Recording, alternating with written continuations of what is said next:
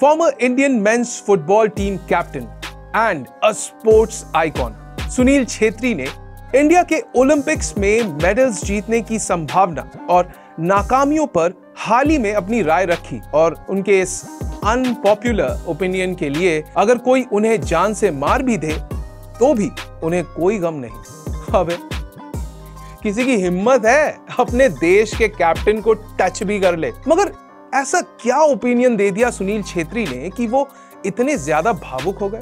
Also honestly मेरा सवाल यही है कि 1.5 बिलियन की आबादी के बावजूद क्यों भारत अभी भी स्ट्रगल कर रहा है ओलंपिक्स मेडल टैली को रूल करने में? क्यों आज भी हम यूएसए ऑस्ट्रेलिया चाइना जैसी टीमों को नहीं हरा पा रहे हैं? और क्या कहा सुनील छेत्री ने इस पर? लेट्स स्टार्ट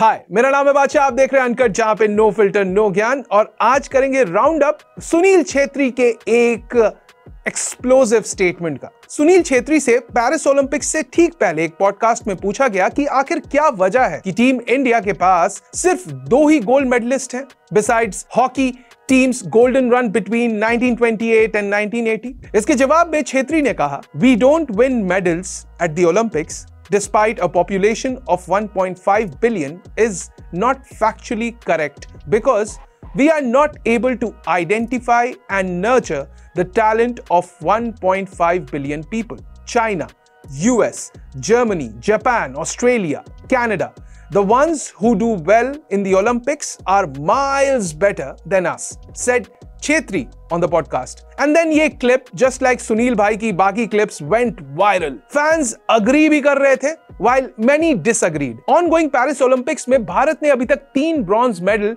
जीत लिए हैं मगर अभी भी हम फैंस को इंतज़ार है गोल्ड का उम्मीद है गोल्डन बॉय नीरज चोपड़ा से मगर सिर्फ़ एक नीरज चोपड़ा से ही सारे एक्सपेक्टेशन क्यों why not the whole contingent हम भारतीय फैंस सपोर्ट तो पूरी टीम को कर रहे हैं लेकिन चाह के बिना अंदर से वो कॉन्फिडेंस क्यों नहीं जनरेट हो पा रहा है? टैलेंट की कमी तो नहीं है हमारे देश में राइट right? मतलब भरा हुआ है टैलेंट यार। एंड एग्जैक्टली exactly इसी सवाल को एड्रेस करते हुए सुनील छेत्री कहते हैं वेन पीपल से टैलेंट की कमी नहीं है हमारी कंट्री में it is 100 percent right a five year old kid in Andaman who was good in football और जैवलिन थ्रो और cricket He didn't even know. Threw it once or twice and then disappeared.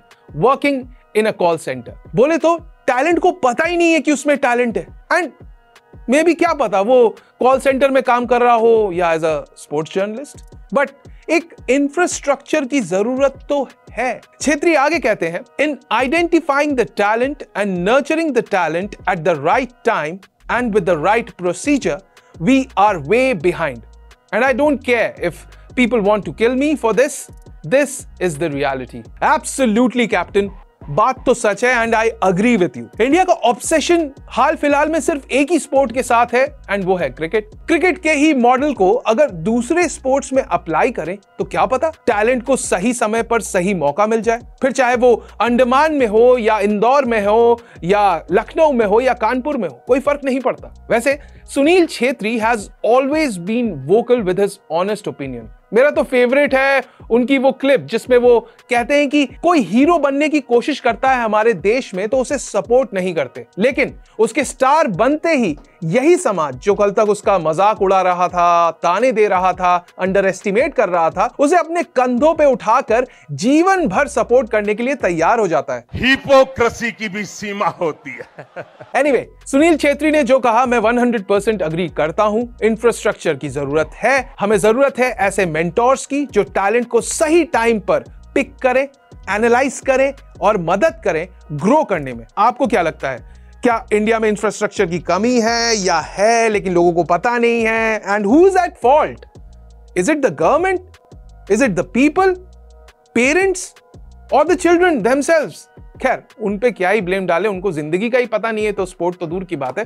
But point being किसी को तो जवाब दे ही लेनी होगी and changes करने होंगे ग्रास रूट लेवल पर। आखिर कब तक हम ऑस्ट्रेलिया या अमेरिका या चाइना या जापान जैसे देशों को देखकर बस यही सोचेंगे कि एक दिन एक दिन, अरे वो दिन आएगा कब?